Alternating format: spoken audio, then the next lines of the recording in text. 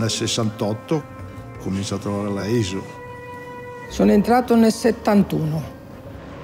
Nel 50. E lì ho fatto tutta la vita che fino a quando sono andato in pensione. Alla isola a 16 anni, nel maggio del 49. Mi si è presentata l'opportunità di fare il collaudatore.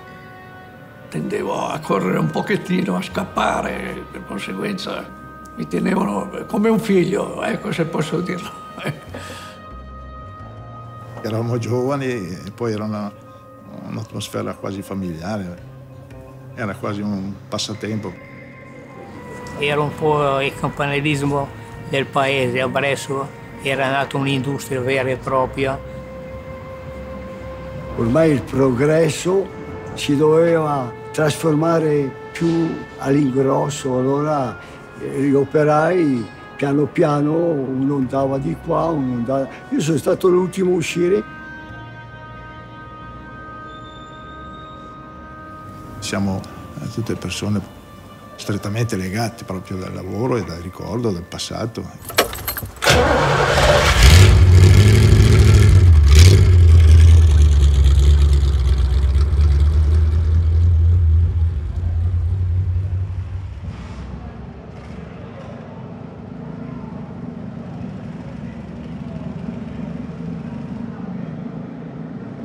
Il comitato nasce a Bresso nel 2000.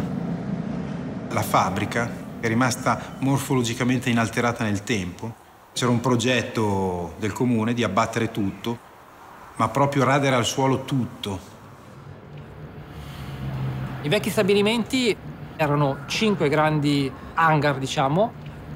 C'era la pista, c'era l'acquedotto e c'era il grande magazzino del prodotto finito.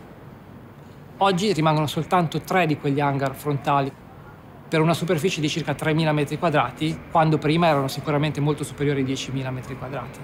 Eravamo un gruppo di appassionati, ci siamo trovati insieme e abbiamo detto ma perché non facciamo l'ultimo raduno? Tanto poi demoliscono tutto qua.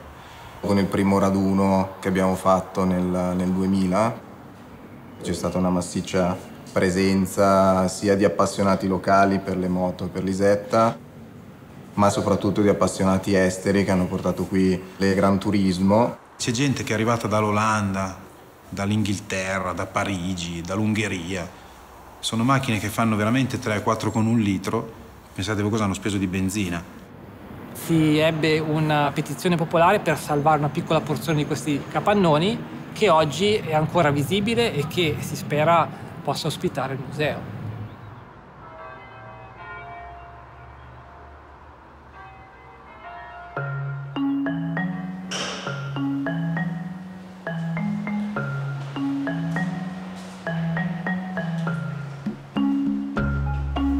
Chiamo Roberto Ghezzi, sono un restauratore prestato alla banca perché mi diverto più a sporcarmi le mani in garage. Lo spazio è di mio padre. Nel garage aveva l'officina. Lui ha sempre fatto il meccanico, proprio come attività.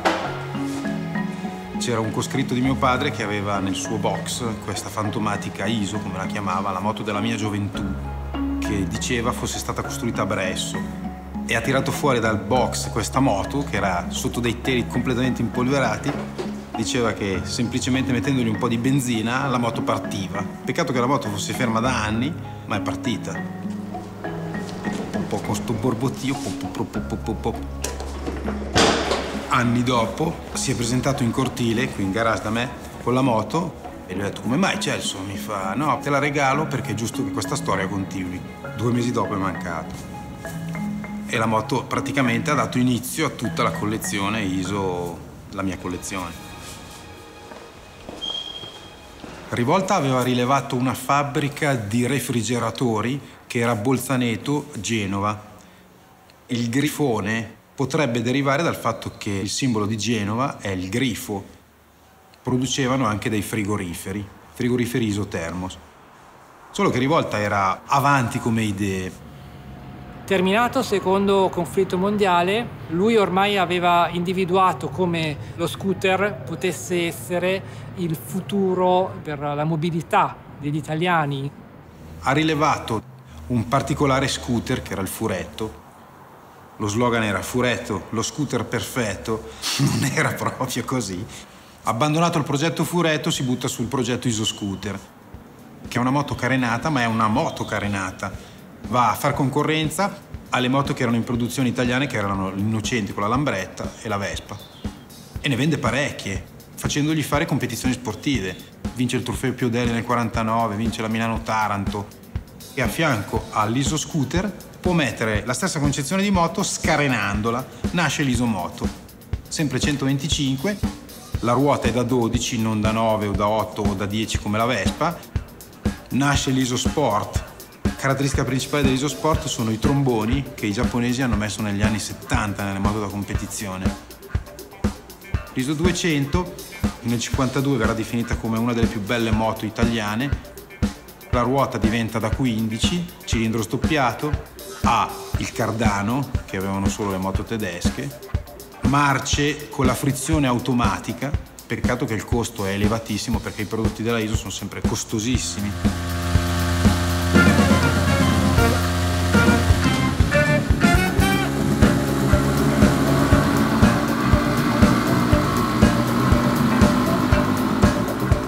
È una moto innanzitutto molto affidabile, io da quando l'ho presa, e sono 16 anni, non ho nemmeno cambiato la candela. Le caratteristiche sono quelle di una moto degli anni 50, ha tre marce, avrà una velocità massima di 70-80 all'ora, però quello che conta sicuramente non sono le prestazioni, ma sono anche le sensazioni di guidare un mezzo che ormai ha 60 anni.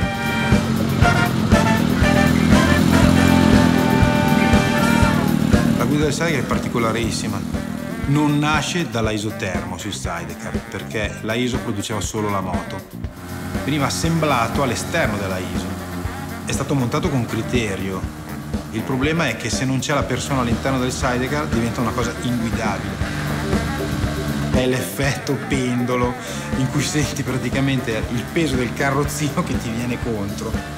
Allora è improponibile guidarlo al giorno d'oggi nelle strade italiane. Era molto diversa dai suoi concorrenti. La caratteristica principale è il fatto di avere un motore a cilindro sdoppiato. Un motore più complesso degli altri, avendo due canne dei cilindri, i quali sono imbiellati uno sulla biella dell'altro. Questo particolare meccanismo gli consentiva di avere maggiore potenza, quindi pur costando di più la moto, di essere preferibile rispetto a una Vespa o una Lambretta.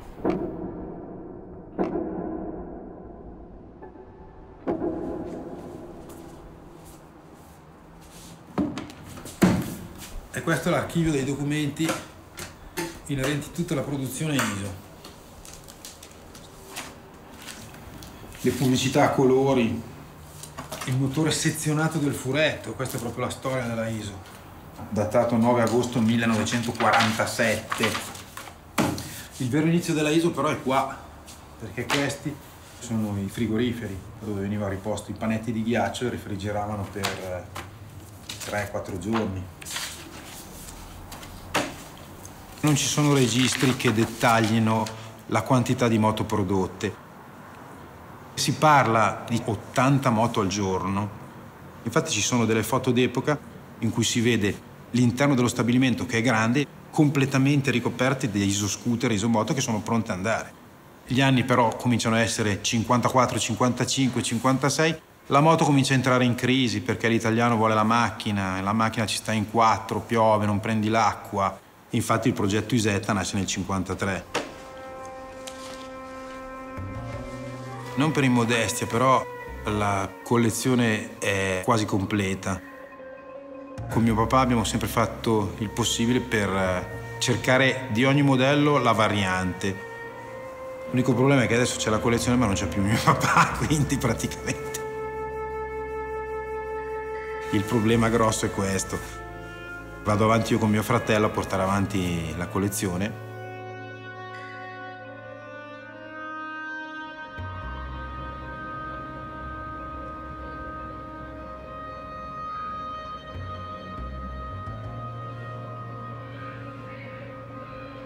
La ISO praticamente è caduta in un baratro. La domanda che ci fanno molti è quando sarà pronto il museo? Non lo sappiamo neanche noi, è evidente. Sembra sempre che si arrivi a una conclusione positiva della cosa, ma gli anni passano e l'area, siamo nel 2016 ed è ancora nelle situazioni che chiunque può giudicare.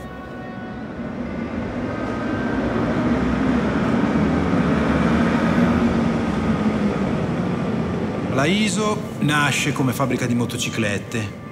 Rivolta era avanti, quindi produce l'Isetta. Dice faccio una Gran Turismo, però io voglio una Gran Turismo dove mi siedo e guido col cappello. Poi dice voglio affiancargli anche una macchina veloce e ci fa la Griffo. È una bella storia che era finita ma che sta ricominciando e il collezionista gli sta dando il giusto valore che merita.